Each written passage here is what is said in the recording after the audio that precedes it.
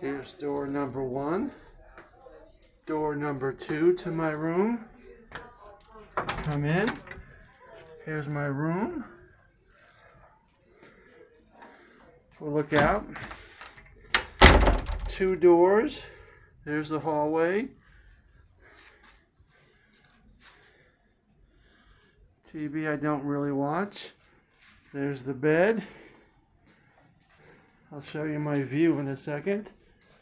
This is not a good view here, but have a nice view. Turn around. Let's go to the bathroom. Go into the bathroom.